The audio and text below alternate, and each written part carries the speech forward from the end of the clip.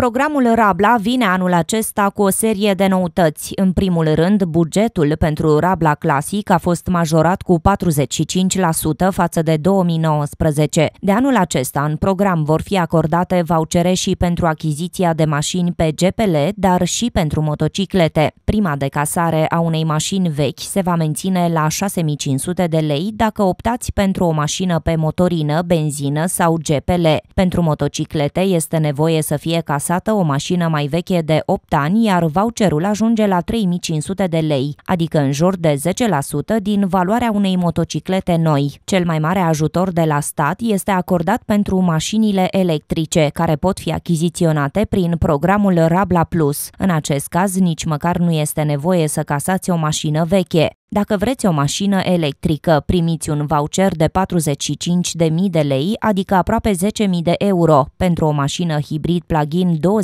de lei, iar pentru o motocicletă electrică 3.000 de lei. Ministrul Mediului, Costel Alexe, a anunțat că sunt bani și pentru instalarea a 2.000 de stații de încărcare. Acestea ar urma să apară în benzinăriile de pe autostrăzi și drumurile naționale, dar și în stațiunile turistice. Programul Rabla este cel mai longeviv program pe care îl derulează administrația Fondului pentru Mediu. De la înființarea programului Rabla, cel puțin 600 de mii de autovehicule au fost scoase din uz și circa 550 de mii de autovehicule noi au fost achiziționate. De asemenea, continuă și în acest an Rabla pentru electrocasnice. Vor fi disponibile 100 de mii de vouchere pentru achiziția de frigidere, televizoare, mașini de spălat vase, rufe sau aparate de aer condiționat.